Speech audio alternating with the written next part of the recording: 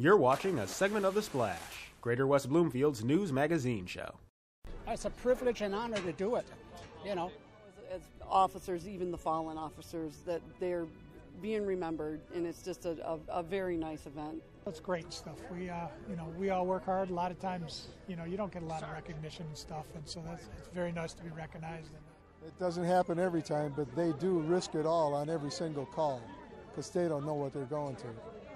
For the people of West Bloomfield, the police department doesn't just serve and protect, they're also proactive within the community. So when one of their officers passes on, residents from all over showed up in the best way possible by attending the Law Enforcement Memorial. The ceremony was moving and heartfelt, but for the families of the officers who lost their lives, this event meant so much more.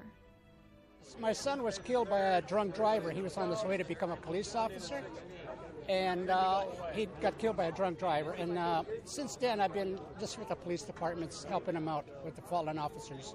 My, my son is the kind of the centerpiece of this thing. My son worked here. He was killed in the line of duty on September 9th of 2012. That car over there is the, the car my son drove the night he was killed. And I got that from the township, and it was restored back to its original condition and turned into a memorial vehicle. This place here is like a second home to me. These people are like my sons. There were many different officers in attendance as well, including Officer Rick Tripolsi, Oakland County Sheriff Michael Bouchard, and Chief of Police Michael Patton. I think it's a rallying point for the community to show their support for their public safety. Again, we, we exist to be a service to them, but they also show their strong support for us, and that empowers us to do our jobs better. And uh, we know we have that kind of support. We know we have the community. The community has our back. You know, they are our partners in everything that we do, and that's very important to us. For West Bloomfield's police force, the job means more to them than anything, no matter the cost.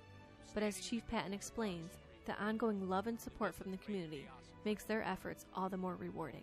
Sometimes it gets to be a little emotional, but you know, just you go to someone's house and you know it's all they could do to dial 911 to get us there.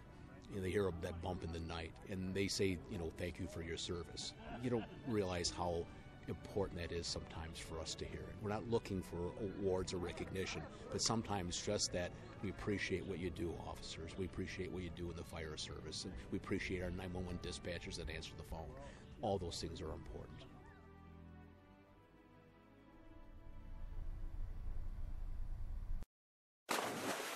Thanks for watching a segment of The Splash. To catch the entire show or other segments, watch us on Comcast Channel 15 or AT&T Channel 99 or look us up online at thesplash.tv and listen to us on WBLD 89.3 The Lakes FM.